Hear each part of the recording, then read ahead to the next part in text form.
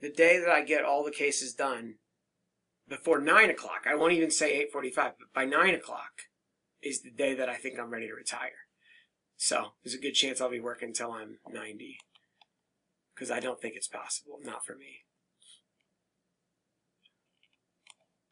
All right, what's this? Case twelve. Oh. So this is like a big, um, kind of like a dermal based nodule there. Um, like when I see stuff like this on the tests. Um, but looking at, I think you can see a little bit of like bones Good. and like deep down. Um, and then it was hard for me to appreciate at first. like I could even find fluffy, feathery pink material um, that's good for gout. This is like the mean of gout and osteomyelitis. Yeah, this is a uh, a hard. This is an amputation specimen of a digit. So this is the bone and cartilage, but it's being totally destroyed.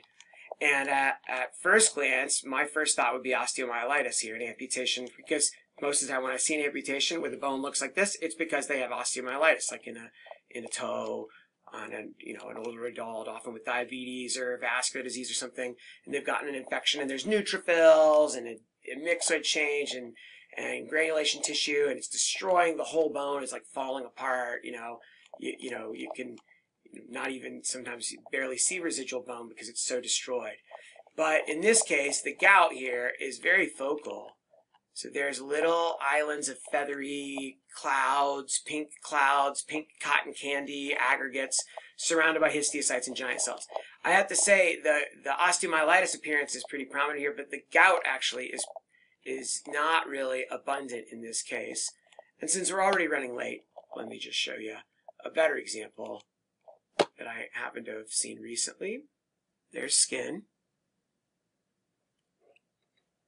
It's as low as I can go, sorry. There's gout. Out of control gout, right? The best ever gout, if you will. Extensive pink fluffy clouds. Sometimes gout is, usually it looks more pink on H&E, but sometimes it can get kind of a bluish appearance.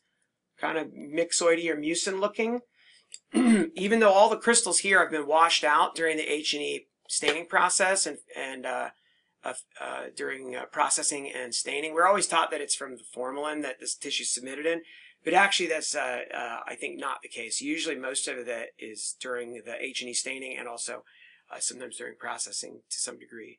But sometimes it can get a bluish look. But but what you see is you can really kind of still appreciate like the kind of ghost outline of the crystals. Now I don't know what actually this is. Is it collagen or some other? I don't actually know what what is there. There oh, there are a few little purplish crystals in there. But really, you can kind of see that feathery needle kind of appearance. But if you polarize this, you're going to see, uh, I did actually polarize this to the day, and there were, there were only a few focal areas where there were residual crystals.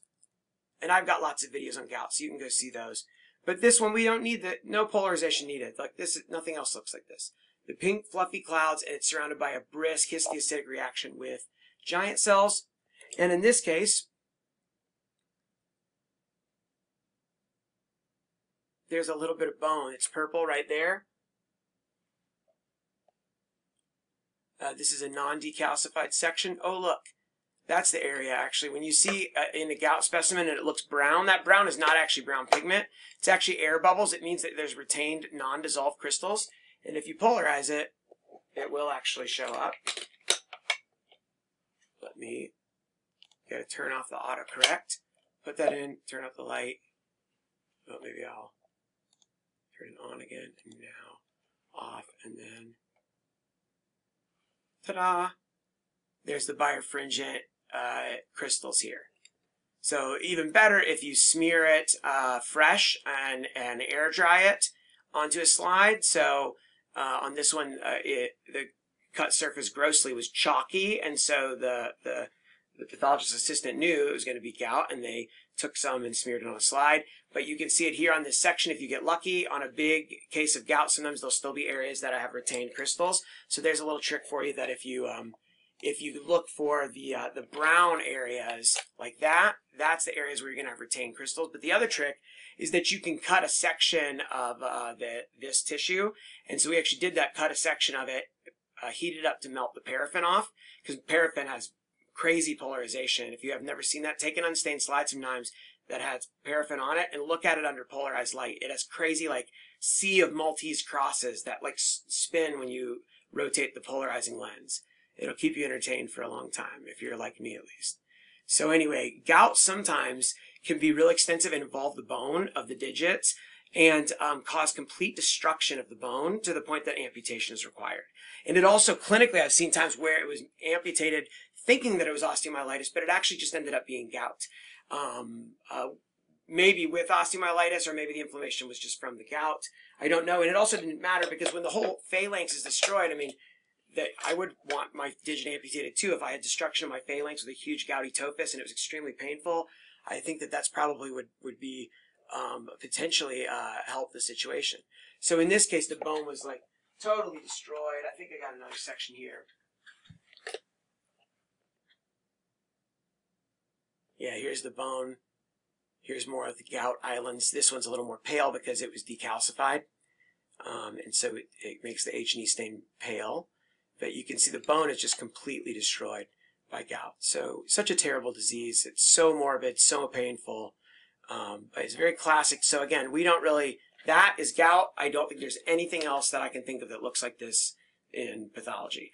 So when you got that, you're good to go. Uh, but if you want to see the crystals, because let's face it, crystals are kind of interesting to look at, um, you can uh, you can use those tricks I just taught you to go find it. Here, a, a less dramatic example, but there is also um, uh, lots of inflammation. So maybe this patient also had infectious osteomyelitis. I'm not sure.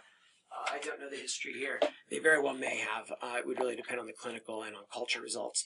But uh, this was also a coexistent, at least gout and potentially osteomyelitis in an amputation specimen.